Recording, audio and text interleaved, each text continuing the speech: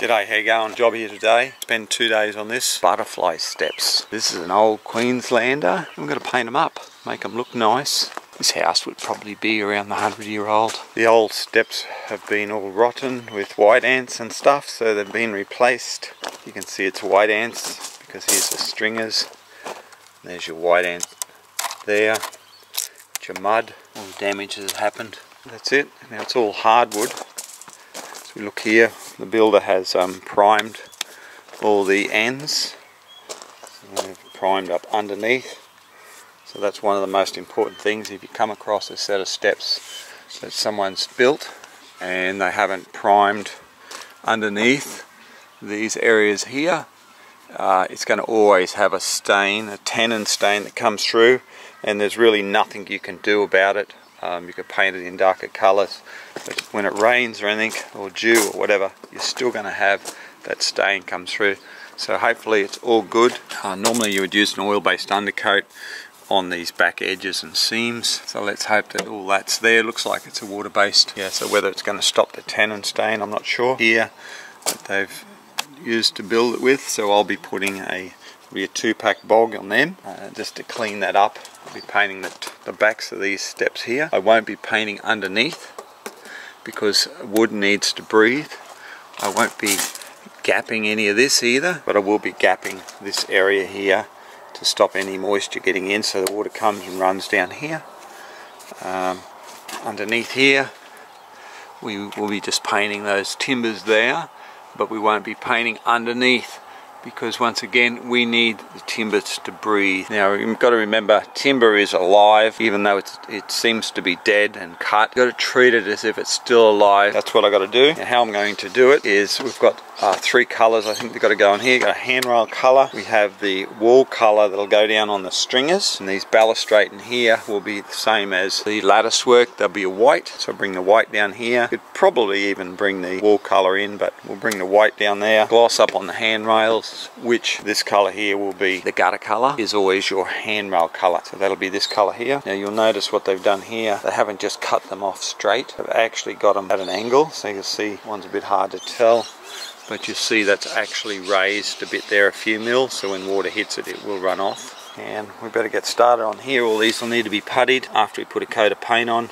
we'll have to gap them gap that section there most of this will be done by hand put a first coat on we'll use a low sheen Weathershield for our first coat. Then we'll give that a sand. Now the steps are only going to be a green. Now that's what I've got to do. I'm going to take one day preparing it and another day painting it. Put our first coat Weathershield on. We use a low sheen. Um, that can be, we can then see all the holes and gaps and stuff. And then we fill it and fix it. We give it a sand, just a light sandpaper with 180 sandpaper or 120 sandpaper to get all the furriness off. We'll then gap it all, caulk it all. Hopefully we can get that done today. We use our two pack bog in the areas and then we'll start putting our finish coats on. We'll need to put another two finish coats on after my next coat. So there'll be three coats got to go on here. Probably do these ones with the gun. Do the first one by hand. I'll see how I feel. There's a fair bit of it there. So you're looking at one meter, two meter, three meter, four, five, six, seven meters. Yeah, so it's probably just easier to pull the gun out, drop sheets over all this here and with this very small tip, 211 tip, just go down and put a couple of coats on. That's after it's all prepared and has the first coat put on by hand. First coat, we're using Weathershield in a lotion. And I'll use a little mini roller with this kind of sleeve. I like this one because you can pick it up and you're not going to spill it. Then I'll pull the brush out and I'll hit the bits that I can't do. This will get 90% or actually 99% of everything I need to paint today. It doesn't matter what colour we're going to do the, for the first coat. I'm going to put a little bit of water in this, 10%. That's just to let it flow a bit better. Basically call a primer coat. So this will stop the tannin stains coming through our top coats. This, you cannot cheat this first coat. So basically I've gone and done both edges. I'll show you on this section here. This, you cannot cheat this. Do not try and cheat this. Do not think that we can just, you know, we'll spray it all. You can spray it later. It goes through, use your little mini roller, get everywhere you can get. We do these edges first. This is the secret. So we're not going to worry about the runs at the back. We're going to get them afterwards. I'm going to come back and then we're going to do this back edge. We're going to move fairly fast and we're in a bit of a shady area so we don't have to worry about it drying too much using a water-based Weathershield low sheen. And the reason we're using this thing here is to fill all them fibers in. This timber is hardwood timber.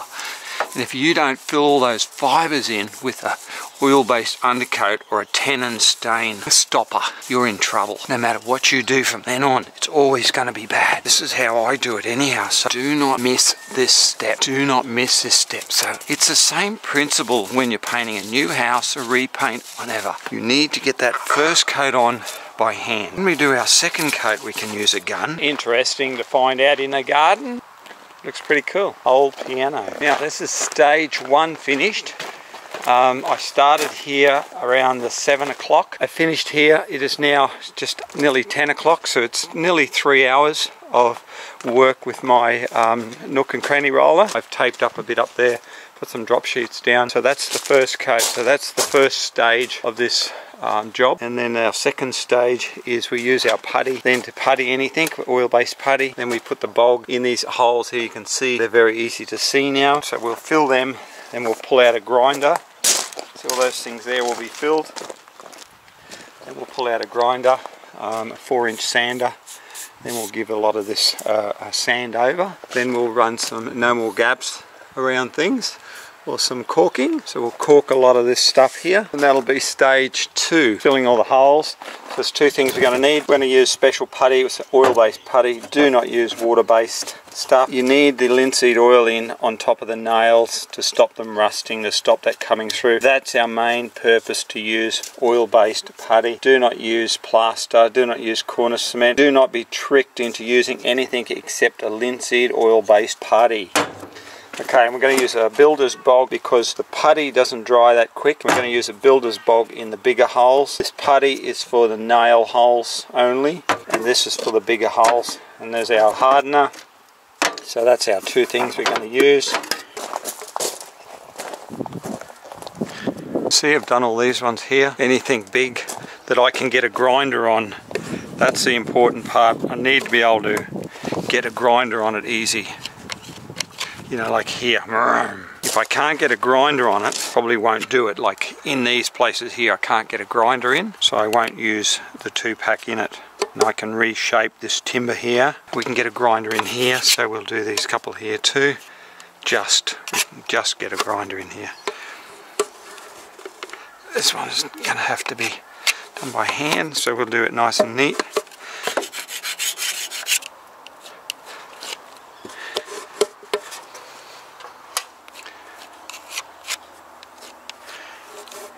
Now this is basically the stages. So stage two we're doing now. Stage one is priming it all, stopping that tannin stain. And this is stage two, filling any cracks, defects. And we're just going to do these nail holes, screw holes, sorry they're not nails, they're screws. It's a very good builder this one. So we're just going to fill them with a two pack. Just make sure that no water can get into that timber.